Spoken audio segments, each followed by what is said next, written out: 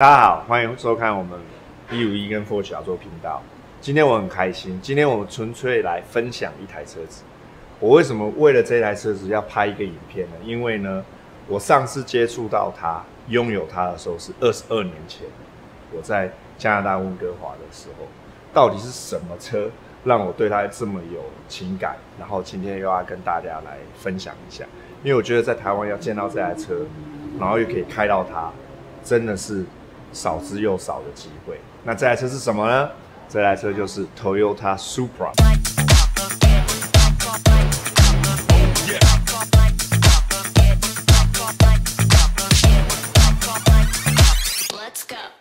我相信大家对这台车子一定不陌生，在网络上有看过。那最大家最多的印象就是它在电影《Fast and Furious》的第一集出现的车子。唐老大车子撞毁了，唐老大叫这一位警察做一台十秒内 quarter mile 的车，就是这台 Supra。那这台 Supra 就是因为电影而很出名。我最记得我在一九九六年的时候，我在开头的 Supra 的时候，啊，我在路上遇到一台保时捷，然后那时候是九九三 Turbo。那当然这个是不好的示范啊。我们当下是在道路晚上，然后我们有做一些。进气的动作就几个红绿灯开的还蛮快，接下来他就开到我旁边，叫我去加油站旁边，说：“你这台车是什么车啊？”我说：“我这台车是 Toyota。”他说：“Toyota 不可能做这种车啊，我怎么可能？你这台车这么快？”我说：“那你觉得 Toyota？” 他说：“Toyota 是做家庭房车的，不会做跑车啊。”我说：“他不相信我啊，因为我的车子有改了一些包围，所以 Toyota 的 logo 就不在了。”所以我跟他讲说。那不然你看我的方向盘，因为我方向盘的安全气囊上面有 Toyota 的 logo。他来说真的哎，那这台车是什么？是 Toyota Supra，他就印象深刻。那在那个之后，当然我们发生就是电影就出来了。那这台车在美国跟加拿大就越来越有名，越来越多人玩它，甚至有改到千匹的，就是其实千匹。的创始组应该是 Toyota Supra 跟 Skyline 啊，因为 Skyline 我们在美国没有，那就是 Toyota Supra。那后来现在近年代来，大家都知道千匹怪兽应该就是 R 三五。那话不多说，我们赶快来看，他车子就停在我们隔壁仓库，然后车主也很 nice 的 Frank，车主叫 Frank，很 nice 的给我们可以让我们试驾出去拍个影片，跟大家分享一下它的魅力在哪里。走。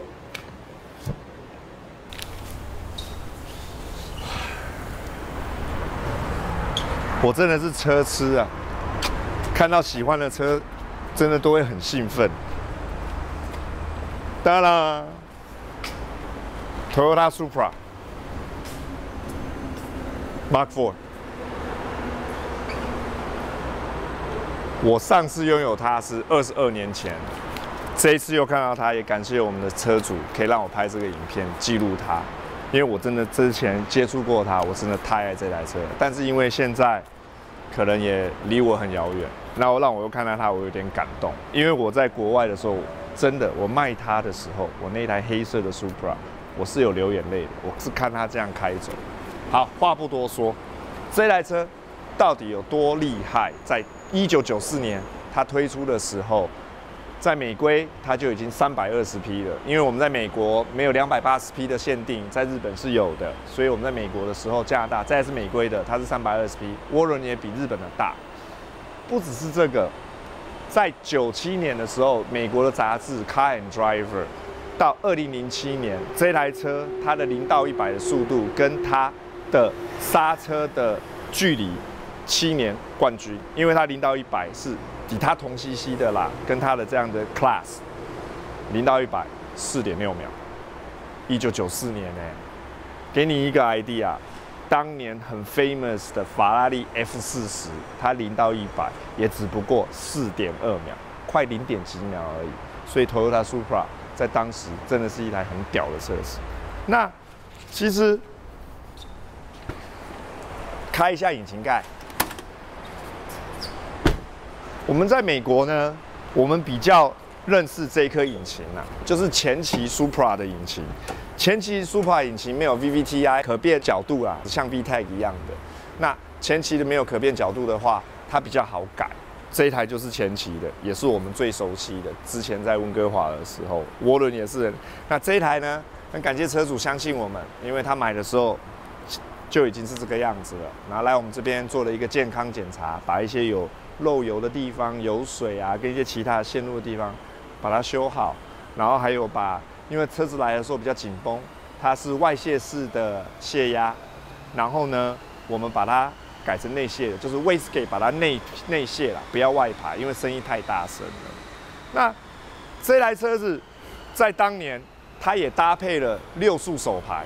那它的六速手排呢？为什么它这么有名？因为那时候 Toyota 应该是不惜成本，它六速手排是用跟保时捷九九三六速手排是一样，都是 Gaytrack 的六速手排，所以这一颗的变速箱其实是跟保时捷一样的。那当年代，你只要花一半的钱，甚至不到一半的钱。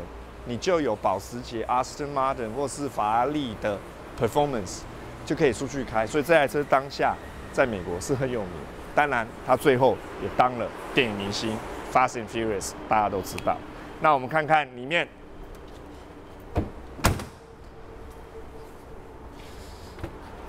它整个座舱的设计跟它开起来的感觉。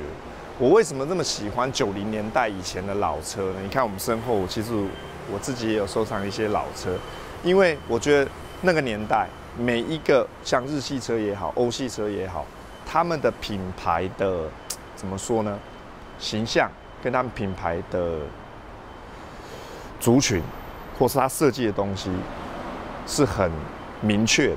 你可以看到这一台就是 Toyota 设计出来的车子。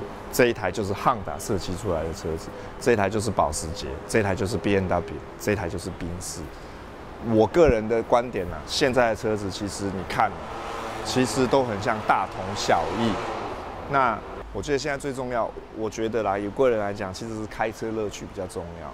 以前的车子没有那么多电子零件，开起来就是很直接的回馈，然后又是手排。话不多说，我们入驾吧，因为客人。他也让我们去录驾，真的很感谢 Frank。走吧。啊，低沉的直六，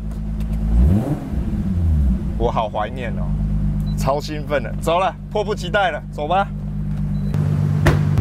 二十二年后啊，可以再开到这台车，我真的是很兴奋。因为这台车在九零年代真的是在我们北美啊，美国或加拿大。风云人物，因为没有一台没有一台车子可以跟超跑抗衡，只有这台车，而且这台车的改装潜力实在太大了，随随便便六百匹、七百匹、八百匹。那我之前那台呢是改到 Grady 的套件，差不多是在六百匹。即使它从三百多匹到六百匹，你只要周边加强啊，然后呢？引擎是原厂的都没有问题耶，那当然有人也是 push 到八百匹啦，也是很简单的。给大家一个概念，就是说当年呐，喜拿开的 F1 呐，也只不过七百一十匹而已，Supra 随随便便都可以八百匹。所以我们那时候开这台车在路上，其实一些比较快的超跑看到这台车，他们其实是有一点压力跟惧怕。对啊，那今天可以开这个，你也看它的驾舱。是很战斗机的，都是以 driver focus，就是以开车人为主的。对啊，我觉得很可惜啊，因为法令的关系哈，现在二零二零的法令的关系跟一些法令的关系，让车子的制造业没有办法在做出他们想要做的车子，因为法令的关系。当然也有市场需求啊。Supra 虽然很有名，但是它在北美呢，一九九七年就退出了北美市场，因为也卖的不是很好。但是像我们这种爱车的人呢，有这种车子呢，其实是很幸运的，因为现在真的已经找不到，也没办法再做了，因为油耗的关系。什么？你看最新的 Focus RS 福特，很像也宣布停产了，因为油耗没办法过。对呀，啊，手拍精确度，听听那个六缸的声音，三千 CC。真的开这种车，不知道你听得到引擎声吗？我觉得这个就是音乐。我每次开到这种车，我都不会开音乐。当然呢，现在的车当然讲究很快了，现在车子都没有什么累然后呢也很好驾驭。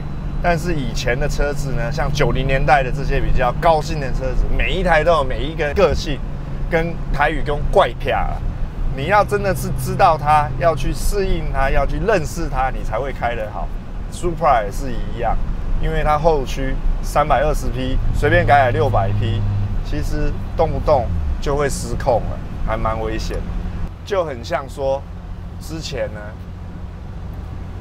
，Num 那个 Lamborghini 在 Contach 跟 Diablo 时代，他觉得那台车根本就是。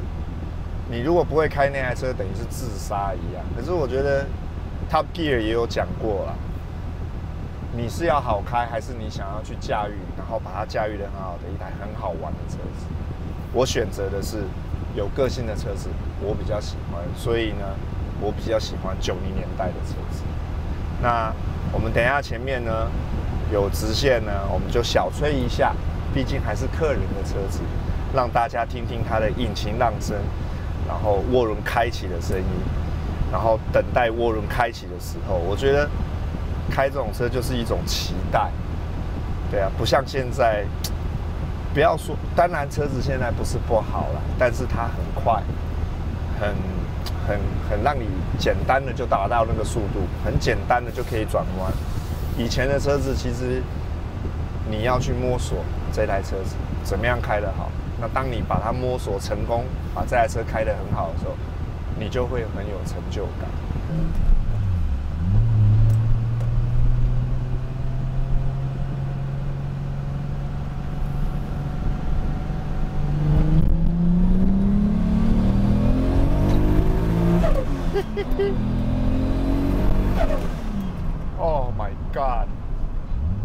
This is what I'm talking about. This is what I'm talking about. Jesus Christ, man. Look at, listen to that turbo.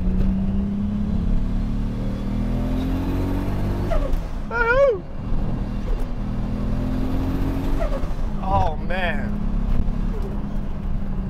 现在车，然后你又要换挡，又要看那个肾上腺素都起来了 ，you know？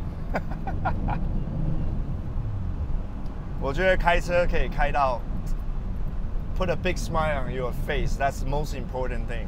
就是你开车，然后这台车可以让你有一个很开心的心情，然后永远都你有一个笑脸在在你的脸上，其实是很重要的。我觉得什么车你现在开起来，还是你，因为我觉得不要吐槽我，也不要攻击我，这个人观点好吗？我想要 share 就是说，为什么要在拍？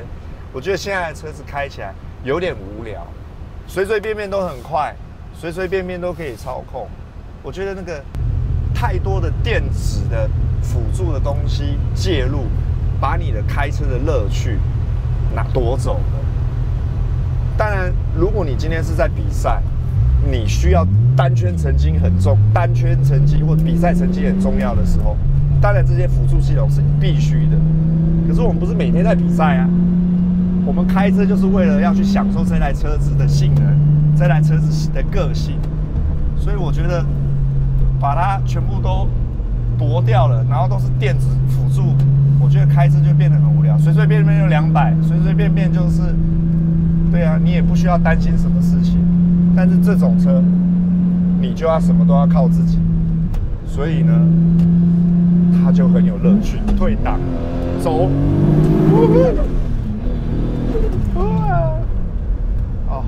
威斯 K 的声音，然后所有整个就让你头皮会发麻了。我啦，我会头皮会发麻，因为真的是你去控制这一台车子这样子，真的是很好玩。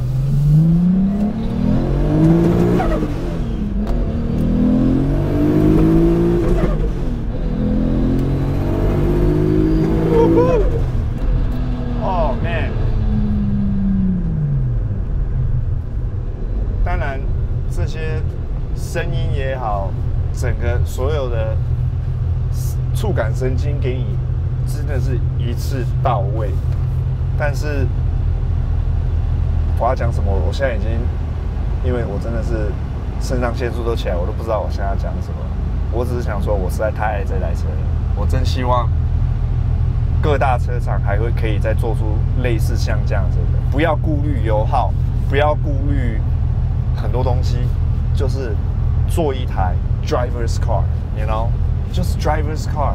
我以前很喜欢 B N W，但是我觉得最近 B N W 一样。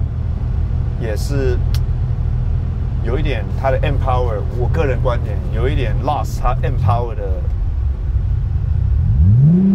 empower 的的习性了啦。